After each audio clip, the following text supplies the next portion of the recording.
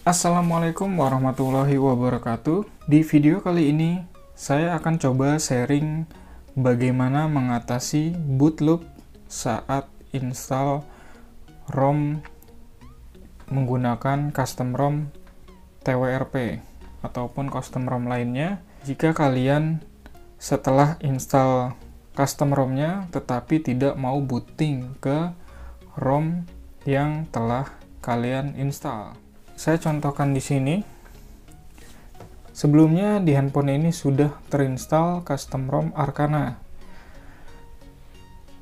Saya akan coba install custom ROM lain. Apakah booting bootloop atau booting dengan sempurna. Kita coba klik install. Oh, maaf. Sebelum install, kita wipe terlebih dahulu di advanced wipe. Kemudian centang the field metadata data internal storage dan change. Di swipe terlebih dahulu. Oke kita kembali. Kita kembali lagi dan install ROM-nya. Install kemudian pilih select storage. Pilih micro SD card.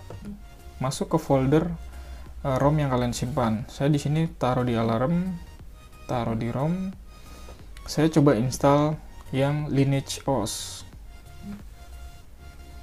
kemudian kita swipe.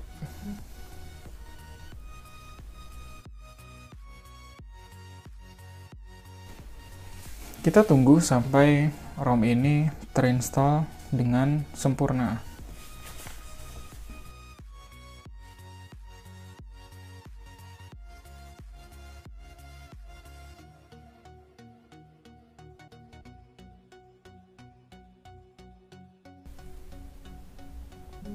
Oke, ROM ini sudah terinstall dengan sempurna di handphonenya, tetapi kita tidak tahu saat mengklik reboot ini dia bisa masuk ke ROM-nya atau tidak. Nah, sebelum kita reboot, mungkin teman-teman ada kejadian di sini itu ada error. Itu kemungkinan uh, file yang kalian download atau ROM-nya itu uh, korup. Jadi kalian harus download kembali ROM tersebut dengan sempurna hingga saat diinstal di TWRP ataupun custom ROM lainnya itu bisa successful dan statusnya itu down. Jika sudah seperti ini, kalian bisa wipe change the field untuk memastikan tidak ada file yang uh, tersisa, file-file sampahnya dan lalu kita klik reboot. Oke kita tunggu sampai dia benar-benar masuk ke ROM Lineage OS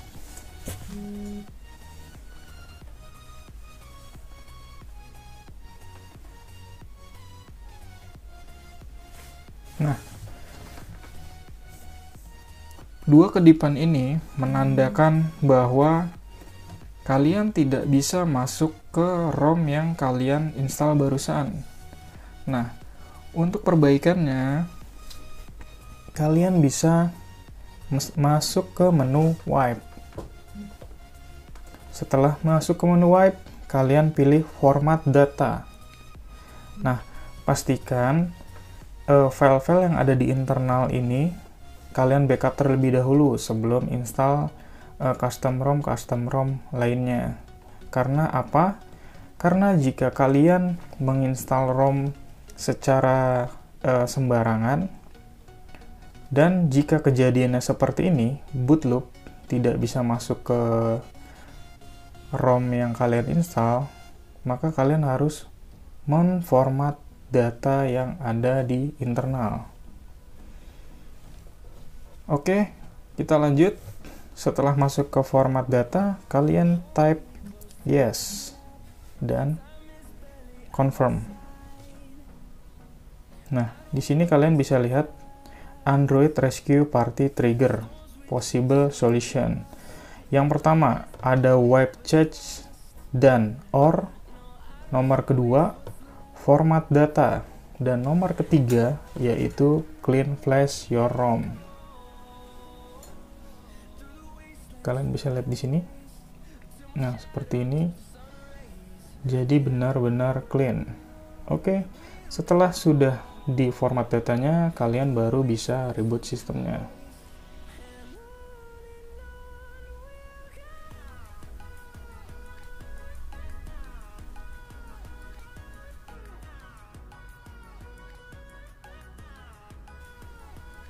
Nah,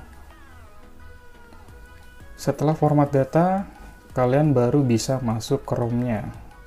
Ini terjadi uh, saat kalian install custom ROM dari custom ROM yang lama ke custom ROM yang baru. Dan kalian bisa menggunakan metode ini untuk memperbaikinya. Oke, cukup sekian di video kali ini. Wassalamualaikum warahmatullahi wabarakatuh. Jangan lupa like, comment, dan subscribe. See you next video.